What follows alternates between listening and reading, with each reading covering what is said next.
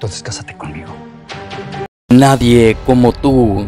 Ya tenemos el avance disponible del próximo capítulo del día de mañana miércoles, ¿sí? Ya prácticamente mañana vamos a estar a mitad de semana y las cosas se van a descontrolar. Como vimos en el avance hay, acción, hay incluso una posible muerte de un personaje. Entonces hay que estar pendientes a ello. Quiero eh, saber aquí sus opiniones.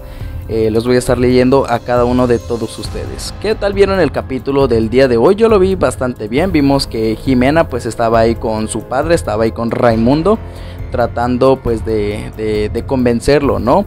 Para pues para hablarle de, Teresa, ¿no? De su madre, pero pues ya sabemos que cuál es la, la opinión de Raimundo. Nunca ha cambiado sobre Teresa, pues que ella se metió con José María y que por ella pues la terminó perdiendo incluso a Jimena, ¿no? A su hija. Entonces siento que tu madre tiene la culpa de todo eso y para mí ella pues, ya no tiene valor aquí. Pero bueno, fuera de todo eso, eh, algo más emocionante es que vimos que Abel le dijo a nuestra protagonista Jimena que si entonces no va a tener nada con Salvador, pues que se case con él. Y es aquí cuando ella tendrá que tomar una decisión muy importante para su vida. ¿Creen que sí haya una posible boda entre Abel y Jimena? Los voy a estar leyendo.